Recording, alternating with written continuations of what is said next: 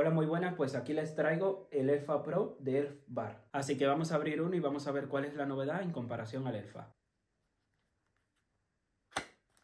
Aquí te trae unas instrucciones que tienes que presionar la base de la resistencia y luego colocarla en el dispositivo. Vamos a abrirlo. Aquí está la resistencia y aquí está la base. Vamos a quitar esto. También vamos a quitar la pegatina de la resistencia. También quitamos este. Y ahora tenemos que presionar aquí fuerte. Una vez colocada y la encajamos. Y ya estaría. Vamos a probarlo a ver qué tal.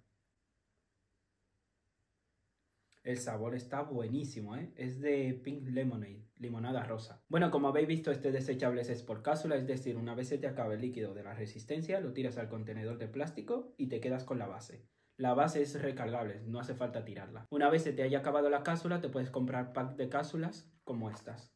Vamos a abrir una y por cada pack te vienen dos. Algo bueno que tiene hacer de cápsula es que puedes tener varias e ir cambiando de sabores, depende cuál te apetezca más. Y tienen 13 sabores disponibles. También algo muy bueno que tiene este desechable es que al ser de cápsula y solo tirar esto al contenedor de plástico y quedarte con esto, ya por ese simple hecho estás ayudando al medio ambiente ya que otros desechables deberías de tirar todo el dispositivo con batería y eso contamina más al medio ambiente. La verdad que calidad-precio no está nada mal, lo que es el dispositivo entero rondará los 10 o menos de 10 pavos. Y la novedad en comparación con los Elfa, estos Elfa Pro utilizan tecnología Quad en la resistencia. Ha mejorado la experiencia del vapeo al incorporar tecnología Quad Mesh y Quad Cell. Sabor más intenso, sabor más consistente desde la primera calada hasta la última y el vapor es mucho más suave cuando le das una calada. Ya para finalizar el vídeo vamos a probarlo haciendo unos trucos y para el próximo vídeo vamos a probar algunos sabores de lo que me han enviado.